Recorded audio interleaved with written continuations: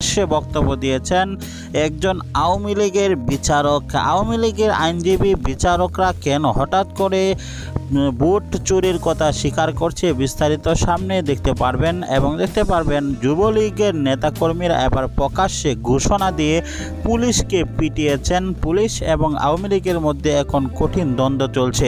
কথা না বাড়িয়ে সম্পূর্ণ ভিডিওটি দেখে আসি। নতুন হলে সাবস্ক্রাইব করে বেল বাটনটি অন করুন। মোটরসাইকেল আটক করায় ট্রাফিক পুলিশ। প্রথম পুলিশকে ঘোষণা দিয়ে পিটাচ্ছেন আওয়ামী লীগের সংগঠনরা। অঙ্গ সংগঠনের লোক যুবলীগ ছাত্রলীগের ছেলেপেলেরা সকলেই আজকে পুলিশ পিটাবো বলে তারা প্রকাশ্যে কঠিনভাবে হামলা করে অনেক পুলিশ সদ- সদস্যদেরকে আহত করেছেন।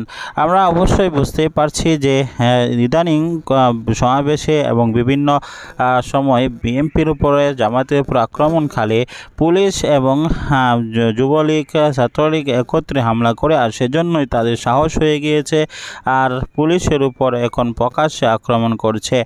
পুলিশ হল জনগণের নিরাপত্তাদাতা পুলিশদের সর্বদাই সম্মান করতে হবে পুলিশের পক্ষে থাকতে হবে।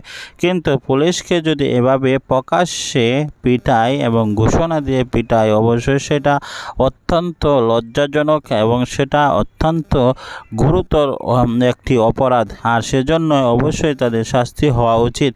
আমরা মনে করি যে হুম, বি- বিভিন্ন সময় সত্য কথা কখনো চাপা থাকে না, সত্য কখনো চাপা থাকবে না।